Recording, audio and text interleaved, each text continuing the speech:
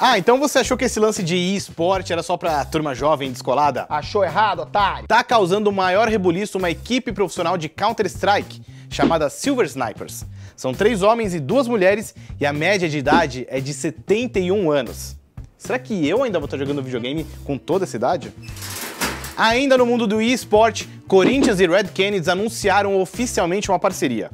E foi confirmado para o time de LoL a contratação do mid laner português Francisco Chico Antunes.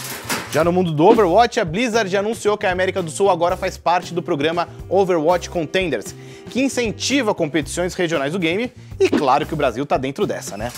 E no Street Fighter V teve reviravolta. O atual campeão do mundo desistiu de defender o título. Por causa disso, a tabela toda mudou e o nosso querido brasileiro Brolinho vai enfrentar de cara a lenda japonesa Daigo Umehara. Tem mais detalhes sobre tudo isso no site e nos links aqui na descrição. A agenda de eventos está lotada de coisa bacana para os próximos dias, hein? Presta atenção. Entre os dias 7 e 10 de dezembro rola a CCXP e o DNM vai estar por lá para mostrar tudo o que rolar de mais bacana sobre o mundo dos games.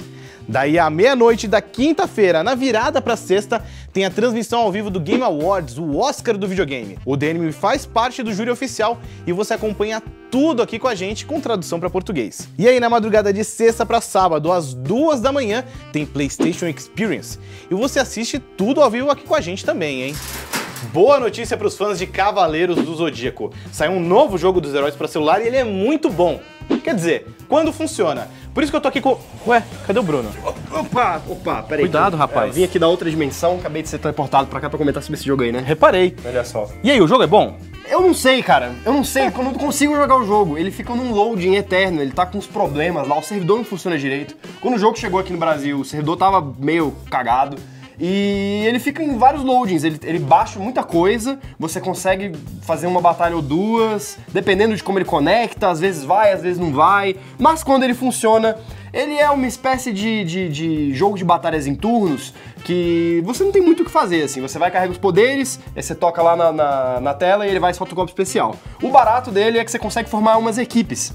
Você tem um modo lá de Guerra Galáctica que você tem vários cavaleiros, você pode meio que ir montando eles. É o Ultimate Team de Cavaleiros do Zodíaco, É basicamente. tipo, as lutinhas são tipo um Pokémon de cavaleiros?